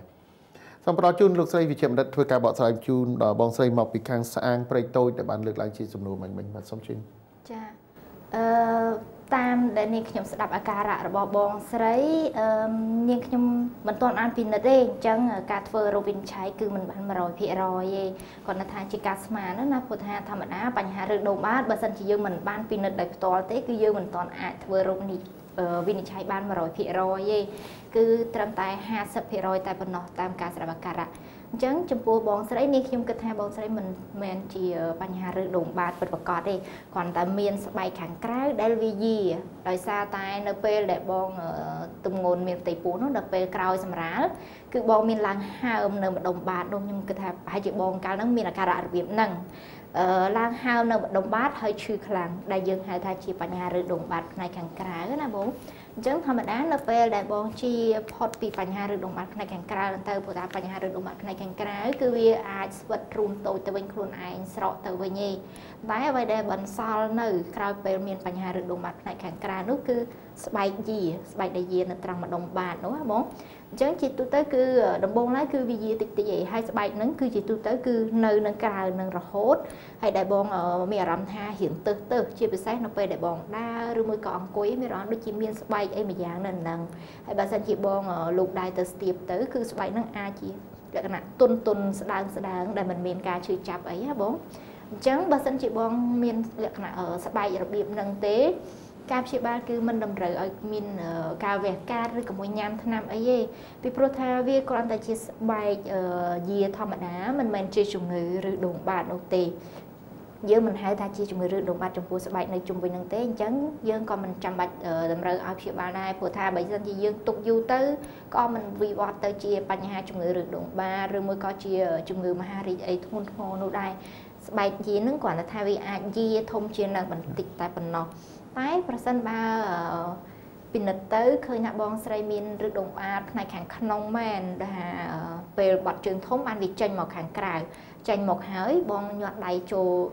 ជួយរុញវាទៅវាចូលទៅក្នុងផុត ប៉ុន្តែអត់មាននៅសល់ស្បែកអីឬមួយក៏អ្វីដែលនៅខាងក្រៅហ្នឹងឯងគឺតែកាលណាវាចូលផុតគឺចូលផុតទៅក្នុងតែម្ដងហ្នឹងបានយើងហៅថាជារឹសដុំបាតផ្នែកខាងក្នុងដែលវាលៀនចេញមកក្រៅតែបើសិនជាញាត់ចូលទៅហើយវាដូចជាមិនចូលទេ តែវាមានគល់នៅខាងក្រៅនឹងជុំវិញនោះមិនមែនជារឹសដុំបាតនោះទេតែបើសិនជាដូចបងស្រីរៀបរាប់ថាមានជារឹសដុំបាតដែលវាចេញមកហើយចូលទៅវិញហើយយើងចាត់ទុកថាជារឹសដុំបាតផ្នែកខាងក្នុងកម្រិតទី3 ចឹងបើសិនជាបងមានត្រឹមតែមួយឬក៏ពីរអីទេគឺយើងមិនតម្រូវឲ្យមានការវះកាត់អីនោះទេអឺតម្រូវត្រឹមតែចងឬដងនោះជាមួយនឹងការញ៉ាំថ្នាំបានហើយតែបើសិនជាយើងពិនិត្យទៅមិនមែនជាឬដងបានទេគ្រាន់តែជាស្បែកធម្មតាទេនោះมันមានឲ្យมันមានតម្រូវឲ្យមានការព្យាបាលអ្វីទាំងអស់បាទអរគុណលោកស្រីជាបណ្ឌិតអញ្ចឹងជាគេហៅថាផ្ដល់នៅព័ត៌មានលម្អិតមានតែបងស្រី ឆ្លៀតពេលបន្តិចទៅត្រឹមស្អាងទេយើងមកកាន់រាជធានីភ្នំពេញឬមួយមកជួបជាមួយលោកស្រីវិជ្ជបណ្ឌិតដោយផ្ទាល់បាទនៅបាទនៅទីសម្រាប់ព្យាបាលអេគីបហើយលោកស្រីពិនិត្យមើលថាតើយើងគួរតែធ្វើការព្យាបាលជាឬដងបាសឬមួយយ៉ាងម៉េចបើសិនបើគ្រាន់តែជាសាច់ដូចដែលលោកស្រីបានធ្វើការជម្រាបជូនបើមិនចង់រំខានយើងអាចវាកាត់ចោលចា៎បាទជាការរួចជាសាច់ហើយអត់មានការព្រួយបារម្ភមានការភ័យខ្លាច ហើយ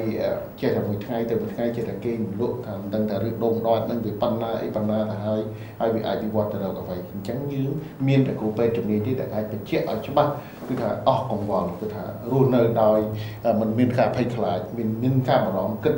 គេងក៏គេងមិនលក់យល់សពក៏បដិបដាស់ទៅទៀតអញ្ចឹងប្រជាប្រដ្ឋមួយចំនួនអញ្ចឹងបច្ចុប្បន្ននេះឥឡូវនេះយើងខ្ញុំក៏សូមបន្តទទួលទូរស័ព្ទបាទ ជាបន្តទៀតពីទូរទស្សនិកជនដែលកំពុងរងចាំលើកឡើងជាសំណួរមកកាន់កម្មវិធីរបស់យើងនៅក្នុងគណៈពេលនេះគឺប្រធានបទយើងនិយាយពីបញ្ហាបូនតុងនិងបញ្ហារីដូងបាតដែលយើងដាក់ប្រធានបទទាំងពីរតែម្ដងដើម្បីឲ្យប្រជាពលរដ្ឋរបស់យើងមានចម្ងល់អាចទៅឡើងជាសំណួរមកកាន់កម្មវិធីបានបាទបាទអាឡូអាឡូសូមជម្រាបសួរបាទអាឡូជម្រាបសួរបងបាទជម្រាបសួរបងស្រីចេញទូរស័ព្ទមកពីខាងណាដែរ បាត់ដំបងបាទមានសំណួរអ្វីទៅបាទសូមគ្រប់ជឿបាទចាអូនមានសំណួរជាតងក្នុងបានណាព្រោះតែបាត់ជើងទៅតែយើងមកចូលស្គាល់ប្រាក់ទៅវារៀនសាច់តែមានសាច់ខាងក្នុងផងសាច់ខាងក្រៅណាបាទយើងចេញទៅមកហើយក៏ឈាមទៅតែតែពេលពីថ្ងៃទៅក៏បាក់វិញទៅតែសាច់ទៅអត់ អត់បាក់វិញទៅនៅពេលដែលមានឈាមចាចាអឺនេះខ្ញុំចង់សួរថានៅពេលដែលបងមានឈាមនោះតើមានអាការៈឈឺនៅកន្លែងម្ដុំបាតទេបងហៅឡូអឺមានប្រហែលថាសាអីទៅទូចម្បាចា សាទៅវិញទៅក៏ឈប់ឈឺទៅតែសាខ្ញុំអត់មានបាក់ទៅវិញចាមានអ្វីបន្ថែមទៀតដែរទេបាទនេះក៏ប៉ុណ្្នឹងឯងខ្ញុំចង់សួរថាតើនឹងជារោគបាត់ក៏អីផ្សេងចឹងណាបងចាបើរោគបាត់តើដំណាក់កាលទីប្រហែលដែរបាទអរគុណប្រហែលឆ្នាំមកហើយដែលយើងឃើញថាមានអាការៈនេះកើតមានឡើងសម្រាប់បងស្រីសម្រាប់ខ្ញុំប្រហែល3ឆ្នាំបង 3 4ឆ្នាំអត់ទោះអាយុប្រហែលហើយមកទល់បច្ចុប្បន្នខ្ញុំ23ឆ្នាំហើយតែវាអត់ចេះញ៉ាំទេបង23ឆ្នាំអូចាបាទយើងរកអាហារណាដែលទុនទុនជាប្រភេទសរសៃណាបានសួរបាត់ជើងអរគុណអញ្ចឹងមានសំណួរតែប៉ុណ្្នឹងទេចាចាបងបាទសូមជម្រាបលាបាទចាចាអរគុណជម្រាបលាបាទទុកជូនលោកស្រីតែម្ដងបាទសូមជម្រាបចា តាមការពិតតាមអាការៈដែលបានរៀបរាប់មកនេះនាងខ្ញុំគិតថាបងអូនស្រីមិនមែនមានបញ្ហាឬដូងបាទេតាមពិតទៅបងអូនស្រីកំពុងតែមានបញ្ហាដាច់រលាត់នៅកន្លែងទ្វារលាមករបស់បងអូនដោយសារតែលាមកនោះចេញមករឹងខ្លាំងពីព្រោះថាស្បែកនៅកន្លែងទ្វារលាមកហ្នឹងគឺមានលក្ខណៈស្ដើងខ្លាំងដូចជាបបោមាត់យើងផ្នែកខាងក្នុងហ្នឹងអញ្ចឹង អញ្ចឹងនៅពេលដែលកាលណាលាមកយើងរឹងខ្លាំងឬមួយក៏ដុំធំខ្លាំងអាចចេញមកធ្វើឲ្យមានការដាច់រលាត់នៅម្ដុំបាតនោះនៅពេលដែលដាច់រលាត់គឺអាចធ្វើឲ្យមានជាឈាមស្រក់មកពណ៌ក្រហម នៅពេលដែលបត់ជើងធំហើយអាចរួមផ្សំជាមួយនឹងការឈឺចាប់នៅពេលដែលបត់ជើងធំហហើយអ្វីដែលប្អូនស្ទាបប៉ះសាច់ទូចមួយដែលនៅកន្លែងហ្នឹងគឺវាបង្កឡើងដោយសារតែប្អូនមានការដាច់រលាត់នៅទ្វារលាមកហ្នឹង សារចុះសារឡើងច្រើនដងយូរឆ្នាំមកហើយអញ្ចឹងវាធ្វើឲ្យមានជាស្បែកមួយហើមយានៅកន្លែងកន្លែងទ្វារចេញហ្នឹងកន្លែងទ្វារចេញរបស់លិមួតហ្នឹងតែតាមពិតទៅវាមិនមែនជារឹសដុំបាតទេគ្រាន់តែជាស្បែកផ្នែកខាងក្រៅដែលយាយអញ្ចឹងបញ្ហាជំងឺរបស់ប្អូនគឺតកតនឹងដាច់រលាត់កសាគូតហើយសាច់ហ្នឹងមិនមែនជាសាច់រឹសដុំបាតទេតែជាស្បែកធម្មតាដែលវាយាយ អ្វីដែលប្អូនត្រូវធ្វើ ចំពោះបញ្ហាប្អូនគឺมันមានតម្រូវឲ្យញ៉ាំថ្នាំអ្វីធំដុំនោះទេគ្រាន់តែប្អូនព្យាយាមញ៉ាំបន្លែផ្លែឈើញ៉ាំទឹកឲ្យបានច្រើនព្រោះថាបន្លែផ្លែឈើនិងទឹកនោះគឺជួយសម្រួលដល់ការបត់ជើងធំរបស់ប្អូនដើម្បីកុំឲ្យលាមកនឹងរឹងខ្លាំងឲ្យទន់ជុះមកស្រួលគឺលែងមានបញ្ហាដាច់រលាត់ទាំងអស់នឹងទៀតហើយ ចំពោះបញ្ហាផ្នែកស្បែកដែលនៅផ្នែកខាងក្រៅហ្នឹងគឺ អត់បាត់ទៅវិញទេប៉ុន្តែកុំបារម្ភវាមិនមែនជាបញ្ហារឹកដុំបាតក៏មិនមែនជាបញ្ហាអ្វីធ្ងន់ធ្ងរដែរវាគ្រាន់តែជាស្បែកយាគ្រាន់ថា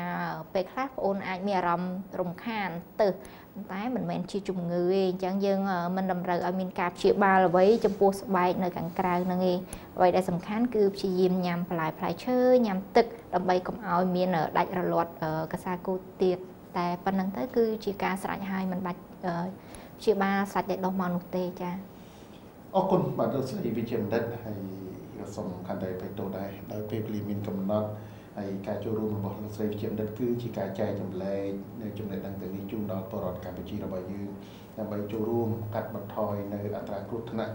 បាទជាមួយនឹងប្រមុខរាជរដ្ឋាភិបាលផងដែរដល់ពលរដ្ឋកម្ពុជារបស់យើងហើយបើយើងទទួលសេវាការព្យាបាលបានតាន់ពេលវេលាមានន័យថាយើងចំណាយថវិកាតិចនៅក្នុងការចាយវាយទៅលើការព្យាបាលជំងឺជាប្រចាំជាវៀងដែលពលរដ្ឋរបស់យើងចាក់ឆ្ងាយពីស្រុកកំណើតខ្លួនឯងទៅព្យាបាលនៅក្រៅប្រទេសដែលបច្ចុប្បន្នមានការគេហៅថាចាប់អារម្មណ៍ទៅក្រៅប្រទេសក៏ប៉ុន្តែមួយចំនួននៅពេលត្រឡប់មកវិញគឺអត់បានទទួលនូវភាពជោគជ័យឡើយ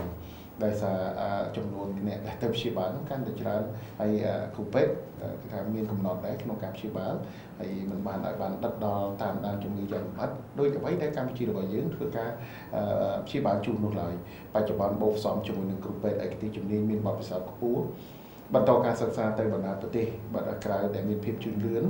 ហើយបូកផ្សំជាមួយបរិការពេទ្យដុតទំនើបផងដែរនោះឃើញថាកម្ពុជារបស់យើងបច្ចុប្បន្ននេះមិនចាញ់ពីប្រទេសជិតខាងរបស់យើងប៉ុន្មានទេដែលបម្រើសេវាខាងផ្នែកវិស័យសុខាភិបាលនេះអរគុណណាស់សម្រាប់លោកស្រីវិជ្ជបណ្ឌិតដែលតែងតែផ្ដល់ពេលវេលាដ៏មានតម្លៃដើម្បីចូលរួមចែករំលែកនៅចំណេះដឹងទាំងនេះជូនដល់ទូតទេសជនក៏ដូចជាពលរដ្ឋរបស់យើងហើយ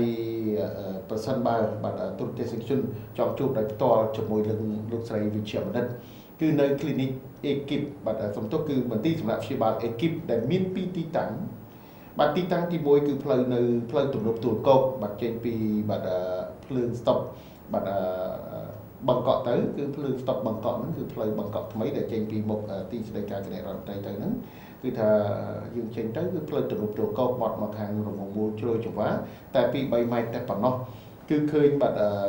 មន្ទីរសម្រាប់ព្យាបាលអេគីបហើយនិងទីតាំងទី2លើផ្លូវម៉ៅស៊ីតុងបើយើងធ្វើដំណើរពីផ្លូវបាទ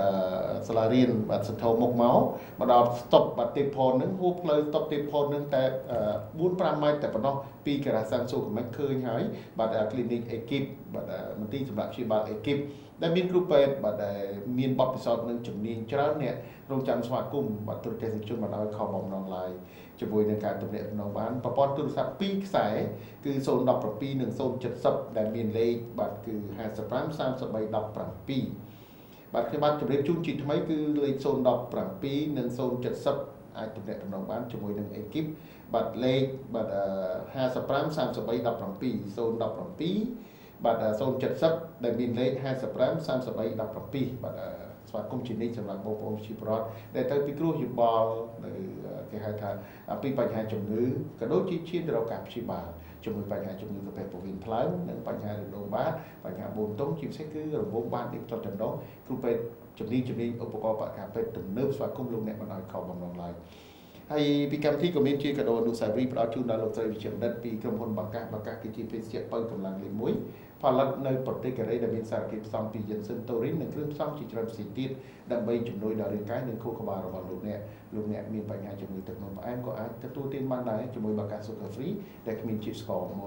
100%បាទសប្តាហ៍ក្រោយយើងវិលវិញជួបគ្នាជាបន្តប្រធានបទថ្មីបន្ថែមទៀតនឹងធ្វើការជម្រាបជូនដល់ទុតិយជន